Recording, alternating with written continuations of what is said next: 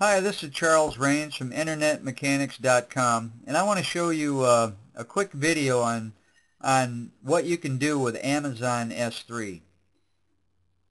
Now this is a martial arts site that I put up uh, and I've got some tutorials here. So what we're going to do is the first thing is you want to have a Firefox browser and up in the toolbar, you're going to click on Tools, and they've got an S3 Organizer uh, add-on. And you'll click on that, and that's going to automatically bring up an FTP um, file transfer protocol uh, screen here. And I'm going to go over to the local side of my computer, which is on the left-hand side of the screen, and I'm going to transfer a file up to Amazon S3.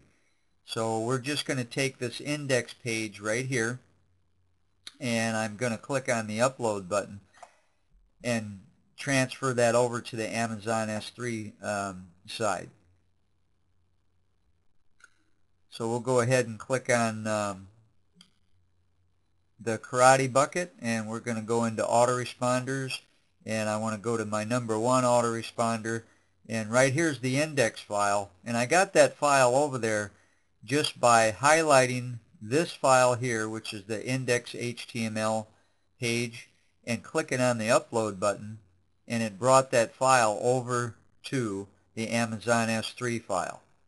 Now the next thing you're going to do is edit the ACL, and that's going to be uh, for on the read, you're going to have that green all the way down, and you're going to click OK for that and the next thing you're going to do is copy the URL to the clipboard. And what I like to do is bring up uh, a notepad page and just paste it in there and uh, see what it looks like. Just to double check it we'll X out of that. I don't want to save it. And then I'm going to go over to my page which we were already there once and I'm going to show you uh, what that looks like. So there's the page um, the file is going to stream and when I click on that it's going to automatically start streaming. And you can see that I've got my my video streaming right there and that's me working out on the MA dummy that I created.